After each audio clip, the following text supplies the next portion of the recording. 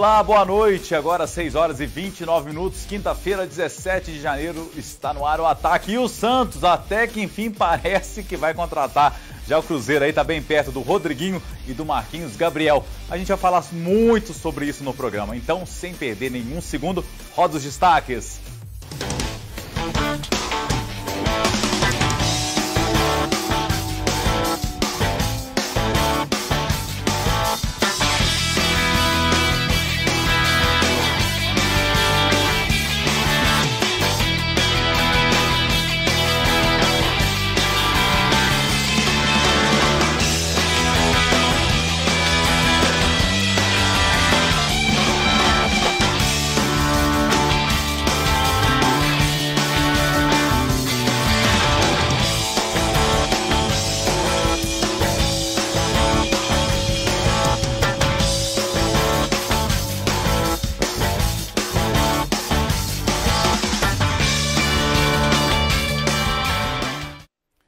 Aqui do meu lado esquerdo, o Jean Rodrigues, publicitário, saca tudo de futebol. Você é corintiano, né, Rodrigo? Jamais. Já, o que, que você é? Cruzeirense, né? Você é cruzeirense? Ah, então hoje você vai fazer a festa. Por que, que eu achei que você era corintiano, hein? Ai, ai, obrigado pela presença, viu? Eu que agradeço. Quer, quer dar uma boa noite pro pessoal de casa? Com certeza, boa noite pra galera lá de Cristais que já tá aí ligadinho no programa Ataque. Ah, de Cristais? Um abraço é, pro pessoal de Cristais, maravilha. E a gente começa falando do Tupinambás. A equipe de Juiz de Fora deve anunciar a qualquer momento a contratação do meia Igor, ex-Tupi. O jogador de 26 anos treina com a equipe, mas segundo a diretoria do clube, ele está sendo avaliado pela comissão técnica. O que chama atenção nessa história aí, né, Jean, é que o, o, Igor é um jogador extremamente identificado com o Tupi, né? Exatamente, foi onde o jogador mais atuou, né? E curiosamente também com o treinador que está à frente do Tupinambás. Mas justamente, ele, ele foi, teve uma expressão, ele jogou quanto tempo lá no, no Tupi? Ele, se não me engano, ele passou lá em 2013, né? Depois foi para fora e depois voltou pro Tupi. Algumas, duas temporadas à frente do Tupi e foi o clube assim onde ele mais jogou. Tá, o que chama atenção que eu acho interessante é que é, Juiz de Fora vai ter o clássico local, né? Vai ter o clássico esse ano no Campeonato Mineiro da primeira divisão. O Tupinambás que subiu agora vai enfrentar o Tupi. É uma atração a mais, né, Jean? Sem dúvida. Essas, esses duelos regionais né, são uma atração a mais é, para o Campeonato Mineiro e vamos ver aí o que, que vai acontecer, quem vai levar a melhor. Maravilha, brigadão.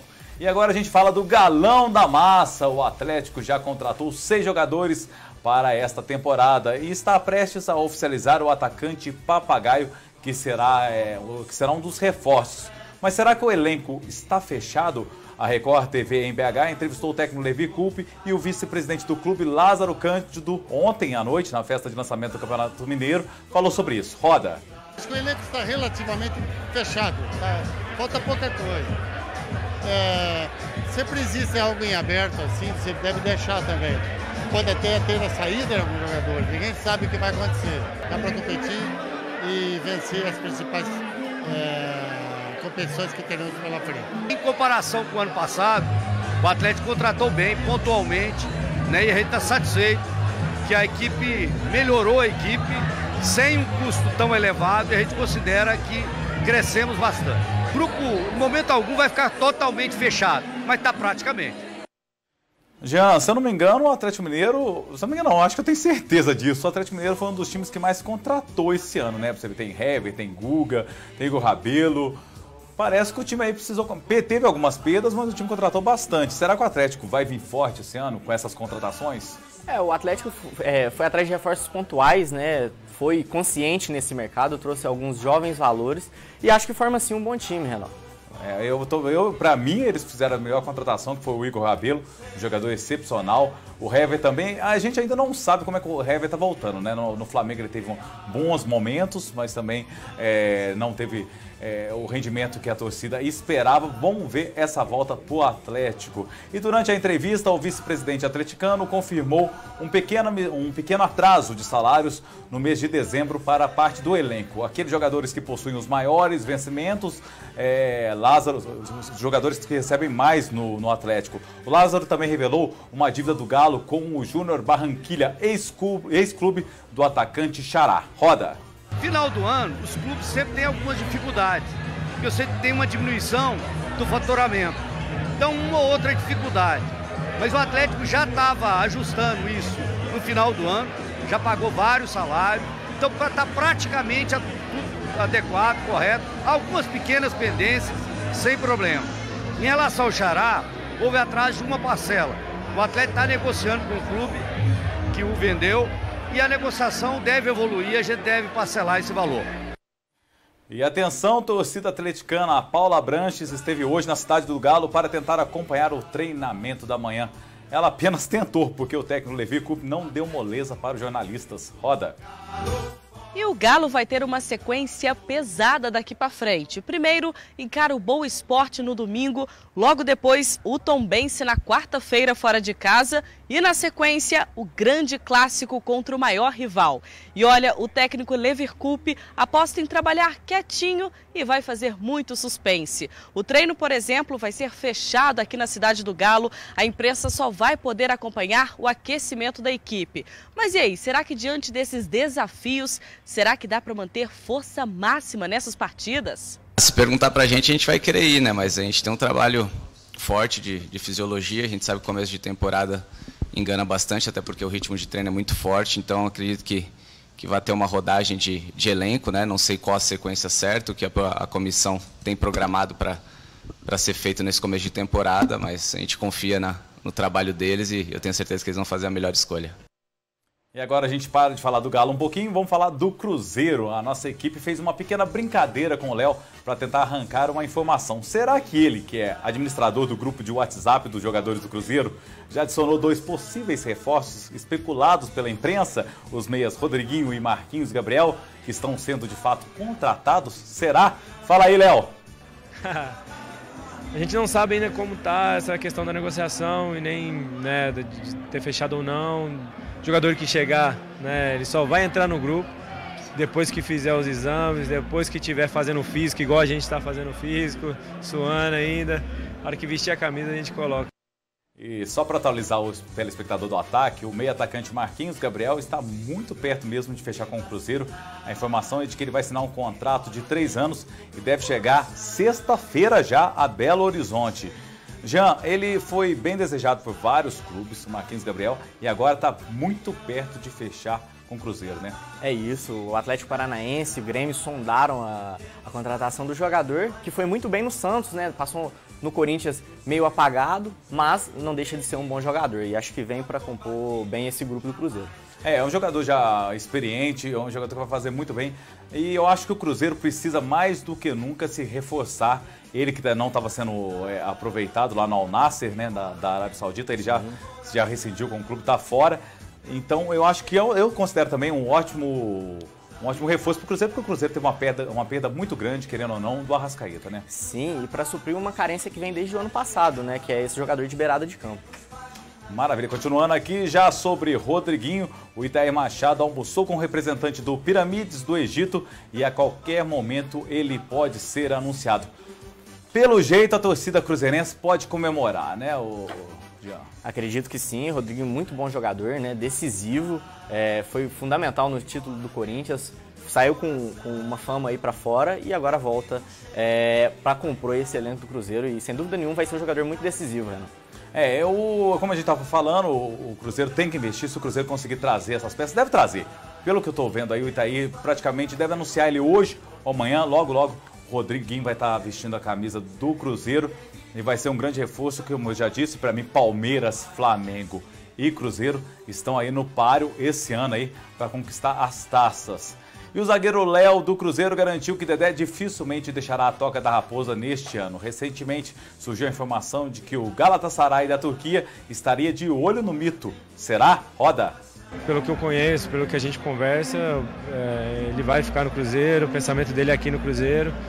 E a intenção dele é ficar e, esse ano acredito que não tem time que tire ele daqui do Cruzeiro.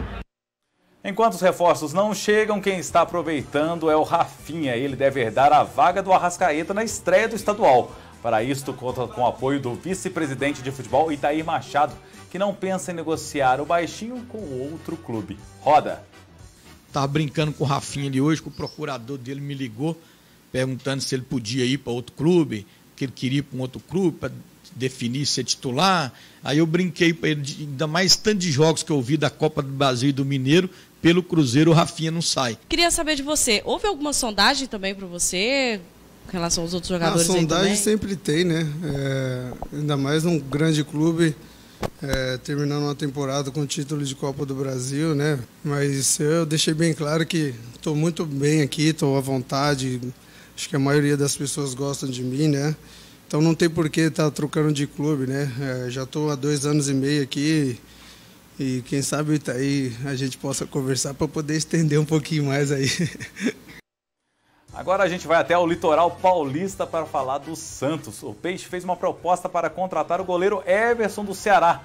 O Santos ofereceu 3 milhões de reais e mais um jogador que não teve o um nome revelado ao time do Nordeste. E ainda sobre os reforços no Santos, o Peixe quer contratar o atacante Nicolás Blandi, de 28 anos, que atualmente joga no San Lorenzo da Argentina. O jogador foi o único, foi um pedido especial do Jorge Sampaoli. O time argentino pediu 5 milhões de dólares. Jean do céu, 5 milhões de dólares pesado um pedido especial aí do Sampaoli. Será que o Santos vai conseguir levar esses dois jogadores? O Everson tá mais fácil, né? É, o Everson tá mais fácil, terminou em alta no ano passado pelo Ceará.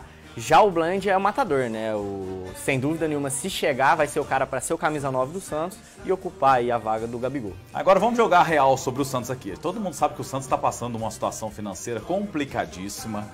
Contratou o Sampaoli por 600 mil reais. A comissão técnica vai custar um milhão de reais ao Peixe e agora quer contratar o atacante por 5 milhões de, de, de, se eu não me engano, de reais.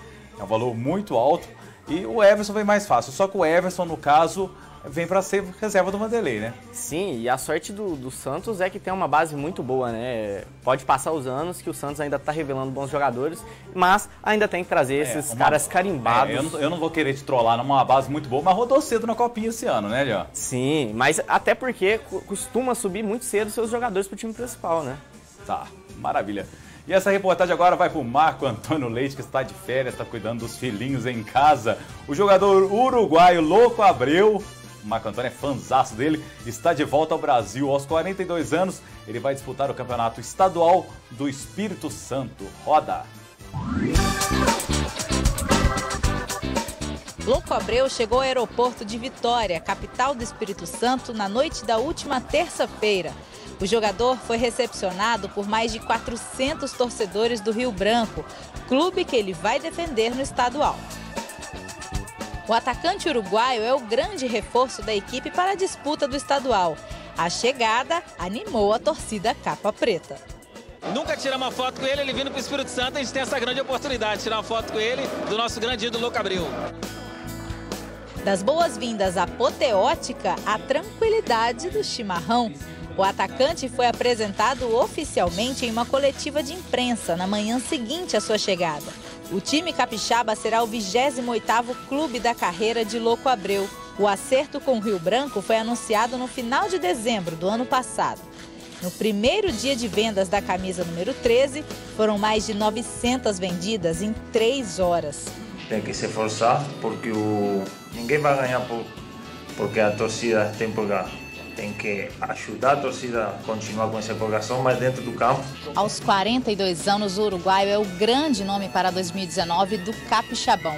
E a maior expectativa do torcedor capa preta é se o atacante estará pronto para a estreia do Brancão no dia 2 de fevereiro. Quando eu tinha 20 anos, o GPS falava que eu corria 8 quilômetros com 42, o GPS hoje fala que eu corro 7 km, então 1 km mais ou menos não vai ser diferença. O que vai fazer diferença vai ser o cruzamento bom para poder mandar dentro do gol. Famoso por suas cavadinhas em cobranças de pênalti, Louco Abreu disse que aposentou o recurso, mas chegou para somar com o elenco. Eu gosto de poder ser a referência, mas para esse tipo de situação é positivo. Mas depois, eh, todo mundo vai querer fazer o melhor para o presidente do Rio Branco, ele é a referência, dentro e fora das quatro linhas. É uma imagem boa, é, ligada ao esporte, boa conduta, então isso tudo ajuda, né? E se depender da torcida, Louco Abreu já está em casa.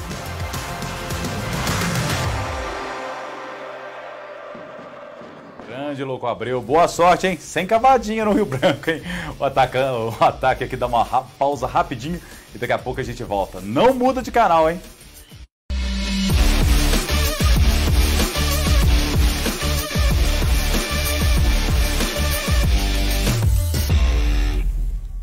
6 horas e 47 minutos, estamos de volta com o programa Ataque aqui na Rede Mais. Um abraço pro Tustão lá do bairro Barcelona, ele que faz o cabelo da galera lá, manda bem demais. Abração, Tustão.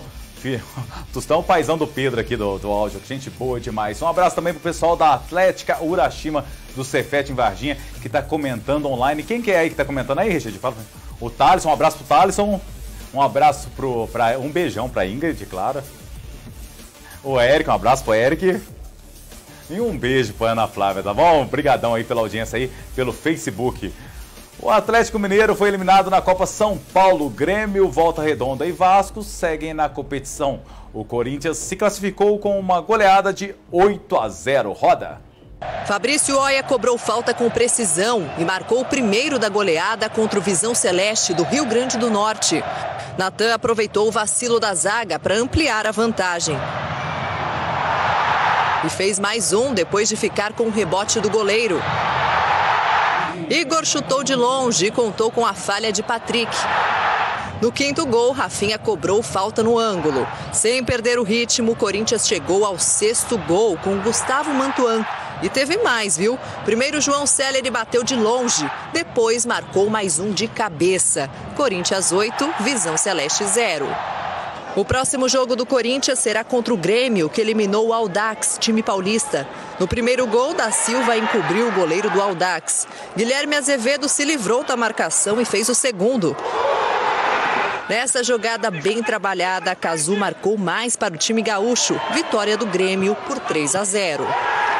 O Vasco eliminou o Coretiba. Lucas Santos abriu o placar. Depois do escanteio, Bruno Gomes deixou o dele. Lucas Santos fez o segundo dele. Vasco 3, Coritiba 0. E o adversário do Vasco nas quartas de final será o Volta Redonda, que eliminou o Atlético Mineiro. Caio Vitor aproveitou a falha do goleiro Matheus Mendes e fez o primeiro gol do jogo. O segundo foi de Marquinhos. Volta Redonda classificado 2, Atlético eliminado 0. E olha que notícia boa, a ginasta Laís Souza postou um vídeo nas redes sociais em que aparece mexendo o tronco. Ela aparece sendo estimulada por eletrodos durante uma sessão de fisioterapia. Laís ainda agradeceu ao jogador Neymar pelo apoio. Ela teve a ajuda do craque da seleção brasileira para uma moradia adaptada. A ginasta está tetraplégica há quase cinco anos. E falando do Neymar, olha só que imagem essas imagens curiosas aí. Olha isso. O craque aproveitou a folga no Catar para participar de uma corrida de camelos e venceu o prêmio de quase 100 mil reais. Outros jogadores do PSG também foram convidados para a atividade que é tradicional lá no país. Cada um escolheu um animal e usava um radinho para incentivar, para incentivar os animais num percurso de 4 quilômetros. Meu Deus do céu, que bobagem! Jean, olha lá, ele comemorando com 100 mil reais. Eu achava que eles iam montados nos camelos. Isso daí também não está muito certo, né? Eles deviam ir montados. Imagina só ficar gritando no ouvido do camelo. Lá, eles vão gritando no ouvido do camelo durante a corrida. Sem dúvida nenhuma, muito estranho. Gente, que bobagem. Volta aqui para mim que eu tenho uma. Diga, Richard. Ah, tá. Maravilha. O Pedro, de Pedro Oliveira de Guapé tá pedindo um abraço aí, um abraço também. Obrigado pela audiência aí no Facebook. Uma última notícia, né, Jean, que a gente ficou sabendo agora. Parece que o Atlético Mineiro e o Flamengo estão tentando repatriar o Jorge, o lateral esquerdo, que foi revelado pelo Flamengo. Está no Mônaco, né? Isso, no Mônaco. Saiu há pouco tempo, né, do Flamengo. O Jorge é uma grande promessa, chegou até a ser convocado para a seleção. E sem dúvida nenhuma, o jogador que conseguir trazer ele de volta vai ser um ótimo reforço. Vamos ver quem ganha essa disputa. E agora, então, vamos chamar Luiz Fernando Rocha, Luiz, olá, tudo bem, Luiz? Como é que vai? Tudo bem? Tudo bem, Renan. Boa noite para você, para o nosso convidado. Ah, maravilha. Aqui, ó. Pelo jeito, o Rodriguinho tá chegando, hein? Parece que sim, né? Parece que enfim ele acertou. Vamos ver. É uma boa substituição. É necessário, mais do que necessário. Maravilha. Tchau pro pessoal de casa. E é com você, Luiz. Bom jornal.